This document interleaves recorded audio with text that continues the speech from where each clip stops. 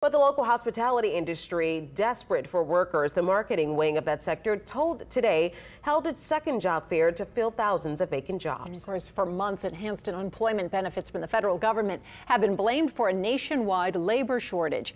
But as Thanh Truong discovered at today's job fair, the reasons why some people have been out of work can be very personal. For the second time in two months, the Morial Convention Center became the site of a job fair mostly for the hospitality and tourism industry in New Orleans. I think everyone has a different situation, and obviously the hospitality industry was absolutely devastated by COVID 19. People have had to make really tough personal and professional decisions. The pandemic forced Pat Powers to look for part time work. Living on Social Security ain't easy. you know, it's tough. Social Security pays you, but it doesn't pay you enough. We spoke with Powers and several other job seekers. They're fully aware of what some critics are saying about the extra unemployment benefits during the pandemic, that they've made it easier for people to stay at home and wait for checks. It's an easy thing to think because you're sitting at home, you have a job, or you're retired from a job. These women say what's kept them out of work is personal and complicated. No work, no money to pay your bills. It's hard. You got kids, it's hard.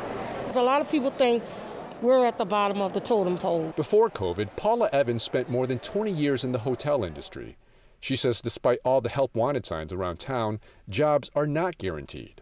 Then there's the issue of pay for what's been deemed essential work. Housing, utilities, everything is going up. But how can the average person make it off of $7.35. Kelly Schultz with New Orleans and Company, which organized this job fair, says many employers hear the calls for living wages and benefits. It's a very competitive time right now. You know, people are going where they're going to get competitive wages. And I can tell you that many of these hospitality companies are ready to pay competitive wages. Many of these jobs here today have benefit packages. A lot of people now are saying, well, we're offering more pay, we're offering more benefits.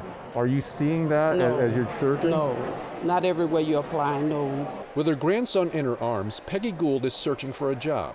As a waitress, she was once part of a $10 billion industry that drove the city's economy. It's a personality driven business that right now is short of people.